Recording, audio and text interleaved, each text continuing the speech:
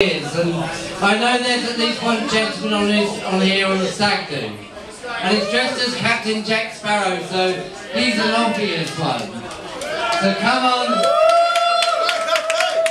What's your name, young man? Your...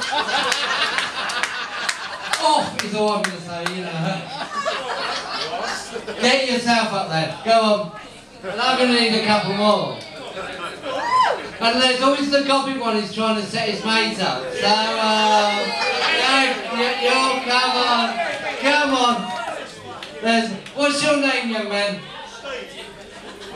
Come on, come on. What's your name again? Steve. Right, right, we need one more. So I'm going to have a walk round. Because there's lots of ladies here with lots of scores to settle. And the thing is, you got the gentleman like here, you got gentlemen over here, but the one who's been stitched up is the one with all the hair gel. Come on, you've got the body. Come on, the ladies have done it. Do it! Do it! Come on. Come on! Come on, if you come to this, you get an extra blowjob at the end of the night. Come on.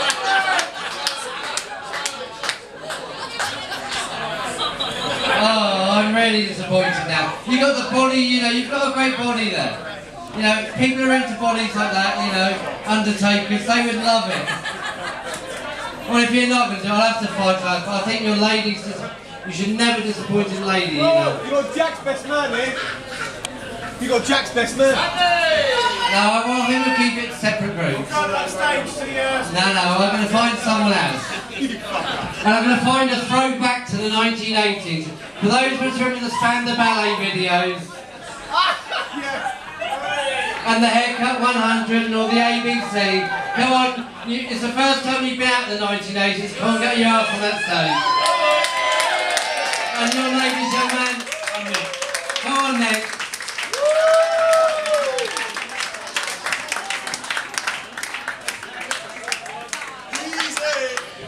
Come on, gentlemen. Right, well, you've seen all the ladies and you've, you've seen the gentleman's trip. Now it's your turn. So I'm going to give you a selection of things that you need to take off as suggestively and sexy as possible. I realise that this is not a lot of definition of sexy that's ever been used before. Because looking at you, I mean, it's no wonder I'm fucking straight, you know what I mean?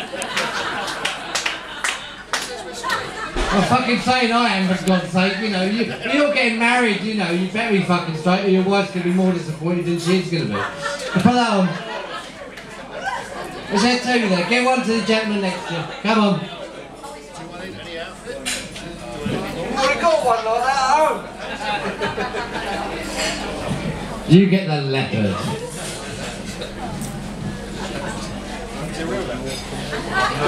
It better not be, it's from fucking Primark, you know.